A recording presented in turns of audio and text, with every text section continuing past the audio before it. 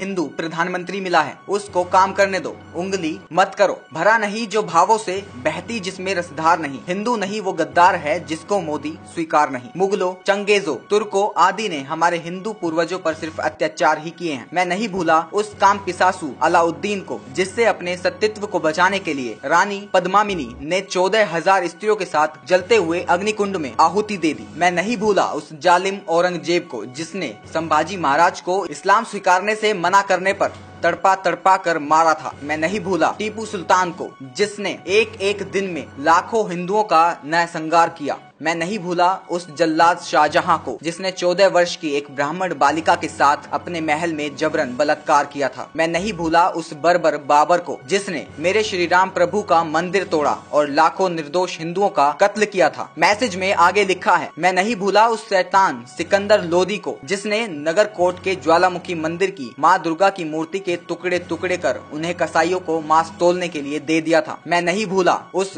धूर्त ख्वाजा मोइनुद्दीन चिश्ती को जिसने संयोगिता को इस्लाम कबूल न करने पर नग्न कर मुगल सैनिकों के सामने फेंक दिया था। मैं नहीं भूला उस निर्दयी बजीर खान को, जिसने गुरु गोविंद सिंह के दोनों मासूम, फतेह सिंह और जोरावर को मात्र सात साल और पाँच वर्ष की उम्र में इस्लाम न मानने पर दीवार में ज़िंदा चुनवा दिया था। मैं नहीं भूला उस जिहादी बजीर खान को, जिसने बंदा बैरागी की चमड़ी को गर्म लोहे की सलाखों से तब तक जलाया जब तक उसकी हड्डियाँ न दिखने लगी। मगर उस बंदा बैरागी ने इस्लाम स्वीकार नहीं किया। मैं नहीं नहीं भूला उस कसाई औरंगज़ेब को, जिसने पहले संभाजी महाराज की आँखों में गरम लोहे की सरिये घुसाए, बाद में उन्हीं गरम सरियों से पूरे शरीर की चमड़ी उधेड़ी। फिर भी संभाजी ने हिंदू धर्म नहीं छोड़ा। मैं नहीं भूला उस नापाक अकबर को, जिसने हेमू के बहत्तर वर्षीय स्वाभिमानी बुज़ुर्ग पिता के इस्लाम कबूल न करने पर उसके सिर को धड़ से अलग करवा दिया था। मैं नहीं भूला उस वहशी दरिंदे औरंगज़ेब को, जिसने धर्मवीर भाई मतीदास के इस्लाम कबूल न करने पर बीच चौराहे पर आरे से कटवा दिया था। हम हिंदुओं पर हुए अत्याचारों को बताने के लिए शब्द और पन्ने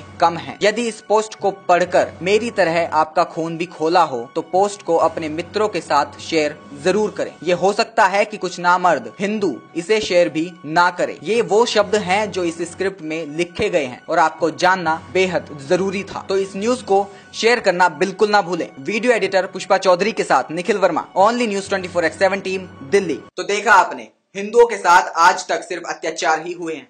अब अगर अत्याचार के खिलाफ आवाज़ भी ना उठाई तो गुंगे घोषित कर दिए जाओगे।